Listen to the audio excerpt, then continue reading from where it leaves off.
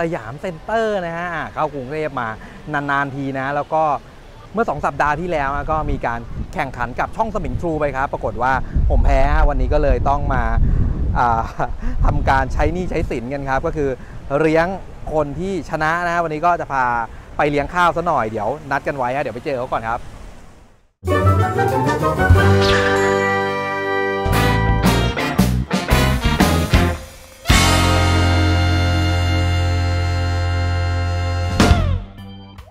สวัสดีครับพบกันอีกแล้วนะครับอ่าเจอกับผมครับครับผม The Baby Boom Room to Zoom Unseen ครับถ่ายชิมอิ่มดำวันนี้มากับสมิงทรูครับเพื่อนเก่านะครับครับกูรูเครื่องมือช่างวันนี้มาทำอะไรอ่าอันนี้เหมือนเป็นช่วงอ่าช่วงหนึ่งของ TBB โดยปริยายครับ เหมือนชวนช่างมานั่งชิม ชวนช่างมาอ่อะประมาณนั้นโอ้โหชวนอะช่างมานั่งชิม คิดมานานนะเนี่ยครับ ส่วนวันนี้นะเรามานะครับจากที่หลังจากที่เรามาทำแบทเทิลกันไปแล้วในคลิปที่แล้วใช่ไหมผมแพ้ อ้าวโอเค ดังนั้นก็เลยต้องพามาเลี้ยงข้าวครับ ซึ่งวันนี้ถ้าใครเคยมาที่สยามนะก็จะมีโซนฟู้ดคอร์ทนะครับ อยู่ข้างบนนะครับอือฮึวันนี้ให้เจี๊ยบเลือกอาหารไปกินอะไรกันดี โอเค ถ้าเกิดว่าหลักๆ วันนี้อ่าใจอยากจะได้อะไรที่ตอบโจทย์ตัวเองนะ อยากจะจะได้อะไรที่มันนุ่มนวลช่วยบิ้วอารมณ์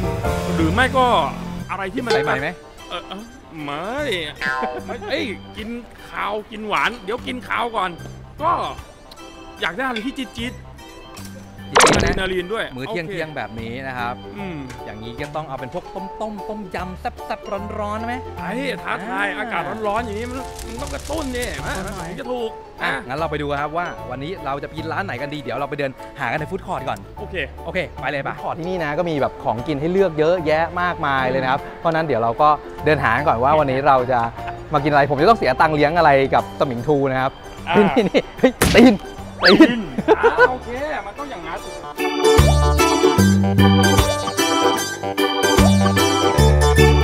นี่คุณแบบมักน้อยมากเลยนะ ผมจะเลี้ยงคุณทั้งทีนี่คุณเลือกก๋วยเตี๋ยวไก่เหรอ แต่ว่ามันมีเหตุผลครับ เนื่องด้วยผู้ชายตัวใหญ่อย่างผมเลือกในเรื่องของปริมาณ แต่บังเอิญว่าได้ยินมาว่ารสชาติไม่ธรรมดานะ ไม่ธรรมดาครับ สวัสดีครับโอุ๊ยสวัสดีครับโอเค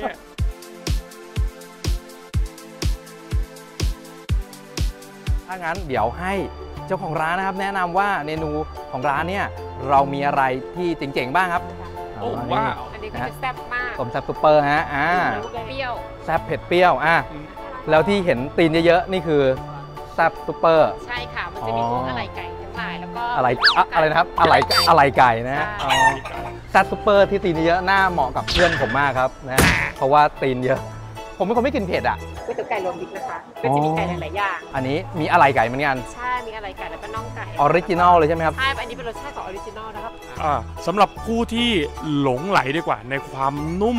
ของไก่แล้วก็ผมเชื่อว่าเอ้ยอันเนี้ยตอบโจทย์เลยสำหรับคนที่ไม่ทานเผ็ดนะ แต่ถ้าเกิดว่าสำหรับคนที่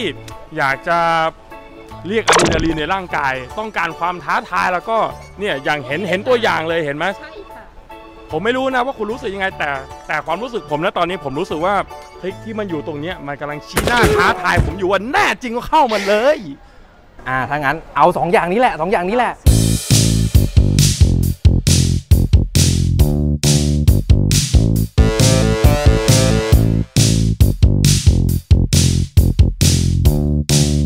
อะ มาเรียบร้อยนะครับ ก็อันนี้ก๋วยเตี๋ยวไก่สูตร original นะฮะใน ชามหม้อดินนะครับกับอันนี้หม้อไฟซุปเปอร์ก็คือคนที่เคยกินพวกขาไก่ซุปเปอร์ใช่ไหมครับอ่าอันนี้ก็จะเป็นหม้อไฟซุปเปอร์ แล้วก็มาในหม้อไฟแบบนี้เลยชามใหญ่ๆนะราคาเท่าไหร่เมื่อกี้ร้อยยี่สิบบาทโคตรคุ้มอะถ้าดูในเรื่องของปริมาณผมไม่บอกแล้วว่าผมเน้นปริมาณอะเดี๋ยวเราลองมาชิมกันเลยดูครับว่า ไอ้ก๋วยเตี๋ยวไก่ original เนี่ยรสชาติมันต่างจากที่เราเคยกินยังไงส่วนอืมหม้อไฟซูเปอร์หม้อไฟซุปเปอร์อ่าอืมนะครับรสชาติจะจัดจ้านแค่ไหนอืมนะครับระหว่างนี้เราก็คุยกันไปด้วยนะ คุยกันไปด้วยนะฮะนะคลิปเนี้ยมันจะลงประมาณสามทุ่มนะครับเพราะฉะนั้นคนที่หิวเนี่ยต้องรอเปิดพรุ่งนี้นะครับเดี๋ยวอันนี้อย่างแรกเนี่ยเวลาชิมก๋วยเตี๋ยวเนี่ยคือผมเป็นคนกินก๋วยเตี๋ยวไม่เคยปรุงเลยนะครับก็คือถ้าอร่อยปุ๊บอร่อยเลย ผมไม่ปรุงผมไม่ปรุงต้องกินร้านอร่อยเท่านั้นฟันธงฟันธงฟันธง น้ำซุปเนี่ยมันจะไม่ใช่ก๋วยเตี๋ยวก๋วยเตี๋ยวไก่น้ำใสนะ มันเป็นเราเห็นอยู่แล้วน้ำดำๆเนี่ยมันเป็นน้ำข้น แล้วก็กลิ่นมันก็จะมีกลิ่นแบบพวกยาจงยาจีนอยู่ข้างในด้วยนะอ่าฮนะครับอ่าไฮไลท์มันอยู่ตรงนี้ครับปัดกันที่นี่เลยเนื้อไก่คือเนื้อไก่ปกติเนี่ยถ้าเขาตุ๋นไม่นานไม่อะไรอย่างเงี้ยที่เราเวลาไปชิมกันนะ เวลากัดขึ้นมาเนี่ยจับขึ้นมาเนี่ยโอ้โหมันจะยากต้องเอาช้อนมาแคะมาเคอะอะไรอย่างงี้ขึ้นมาทั้งอันนี่ครับ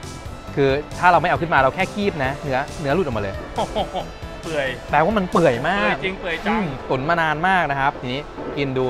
อร่อยไก่จะต้องละลายในปากแล้วมีเจลาตินแค่แตะเข้าไปในลิ้นน่ะไม่ต้องเคี้ยวโอ้โหอากงอาม่าไม่มีฟันกินได้เลยอืมจริงๆ ไม่ต้องเคี้ยวเลยอมปุ๊บแบบละลายเละไปในปากเลยครับคือนุ่มมากๆนะฮะอ่าดูเส้นก่อนมามามามาผมเป็นคนกินก๋วยเตี๋ยวแล้ว เรื่องเส้นเนี่ยสำคัญมาก เรื่องเส้นเนี่ยสำคัญมากเพราะ ว่าก๋วยเตี๋ยวอร่อยไม่อร่อยเนี่ยคือน้ำซุปอร่อยไก่นุ่มอะไรแล้วเนี่ยเส้นต้องเหนียวนุ่มด้วยอ่าฮะนะครับอ่าดูสำหรับที่นี่นะฮะอะเส้นดูนะครับเส้นเนี่ยเวลาเราคีบขึ้นมาไม่ใช่แบบเละติดตะเกียบขาดขึ้นมาอันนี้อะมามามาลวกไม่เก่งลวกเละๆนะครับอันนี้ต้องลวกขึ้นดึงขึ้นมาเป็นเส้นนะฮะเส้นเล็กนี่ไม่ใช่หมูนะไม่หมูนะไม่หมูนะไม่หมูนะ ผมก็รู้ว่าเส้นเล็กแม่งไม่ใช่หมูเส้นเล็กแม่งเป็นแม่งเป็นแป้งหมายถึงว่าการลวกเส้นเล็กอะไม่ใช่เรื่องง่าย เฮ้ยของคุณไม่มีเส้นคุณต้องชิมเส้น นี่นี่ชิมเส้นชิมเส้นอันนี้ตะเกียบผม คือจะบอกว่าเส้นเขาอะถ้าเราเคยกินพวกก๋วยเตี๋ยวเส้นจันอะไรครับเส้นเขาจะเหนียวเหนียวนุ่มๆแบบนั้นเลยนะฮะถือว่าถือว่าทำมาได้ทำมาได้ดีนะทำมาได้ดีมากสำหรับอาหารฟู้ดคอร์ทนะครับ60 บาทปริมาณขนาดนี้เนื้อไก่ขนาดนี้นะครับเส้นขนาดนี้รสชาติแบบนี้ นะฮะคือผมอยากจะบอกว่าถ้าเกิดว่าลำพังเราเราเราจะเทียบในเรื่องของราคาอืมอย่างเดียวก็ไม่ได้ถ้าเกิดว่า 35 บาท 45 บาท แต่ถ้าเกิดว่าเฮ้ยโดดขึ้นมาอีกนิดนึงแต่คุณได้แม่งอย่างเทพเลยอะเออโอ้แม่คุ้มคุ้มคุ้มคุ้มเอาตาผมเนาะอะฟินอะ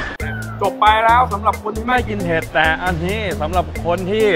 รักสนุกแล้วกันชอบความท้าทายแล้วก็ผมคิดว่านี่เลยตอบโจทย์เนาะเพราะอันนี้ถือว่าเป็นไฮไลท์ของ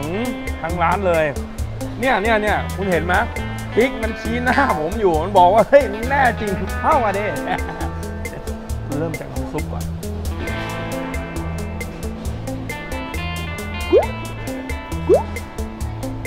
โอ้ไอ้ไม่ได้โม้ว่ะ เอ่อเปรี้ยวนำเข็บ เอ้ย ไม่ใช่เข็บ เข็บเผ็ด จริงๆจี๊ดจ๊าดแต่ไม่เวอร์วังจนเกินไปแต่ผมเชื่อว่าเฮ้ยโอเคอะ คือ อยากบอกว่าแค่น้ำซุปนี่ก็จริงๆอะคุ้มแล้วคุ้มแล้ว เดี๋ยวว่าแต่มากินกันเลยนะครับคิ้วกลับไปกินที่บ้านยังอยากเลยอาจอาจจะดูเหมือนธรรมดานะก๋วยเตี๋ยวไก่แต่พูดตรงๆรสชาติไม่เบเบ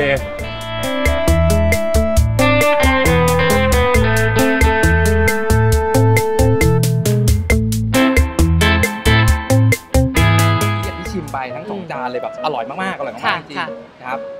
สูตรนี้ท่านได้แต่ไรมา อันนี้ก็จะเป็นสูตรโบราณโบราณนะคะอืมสมุนไพรที่แน่นมากค่ะ แต่ละอันอย่างเช่นเกากี้อย่างเงี้ย โกจิเบอร์รี่ใช่แล้วใช่ใช่เออก๋วยเตี๋ยวไก่ใส่โกจิเบอร์รี่ครับบอกเลยใส่จังว่าแตกต่างจากก๋วยเตี๋ยวไก่ที่เราเคยกินทั่วๆไปจริงใส่ใจทุกรายละเอียดครับ ผมมั่นใจเลยว่าอ่าอันนี้กว่าจะได้ขนาดนี้ไม่ไม่ใช่แป๊บเดียวแล้วได้แน่นอน อันนี้ก็จะเป็นอยู่ที่สยามเซ็นเตอร์นะคะ อยู่ชั้น 4 นะคะ ใน Food Republic มาทานกันได้ใครแวะมาเที่ยวสยามมาเดินช้อปปิ้งลองแวะขึ้นมาชิมดูค่ะว่าอร่อยมากมายแค่ไหน อร่อยจริง ๆ ค่ะๆสุดยอดนะพาชิมอิ่มดำทางสมิงพรูมากินแล้วบอกเลยครับว่าสุดยอดจริง ๆ นะสำหรับร้านนี้นะครับชื่อว่าร้านก๋วยเตี๋ยวไก่คุณตุ่มค่ะครับถ้าจะมาก็มาในช่วงที่เวลาห้างเปิดนะครับ ตอนนี้คลิปลงสามทุ่มไม่มีนะครับ มาพรุ่งนี้ใช่ ครับก็ขอบคุณมากๆครับสำหรับการติดตามค่ะชมคลิปในวันนี้นะครับพบกับผมครับ The Baby Boom รุมตุซุมอันซีนไอชิมอิ่มดำนะครับทุกวันศุกร์เวลา3ามทุ่มตรงครับแต่วันนี้ขอตัวไปกินให้อิ่มก่อนครับ วันนี้ไปก่อนครับบ๊ายบาบ๊ายบายยค่ะ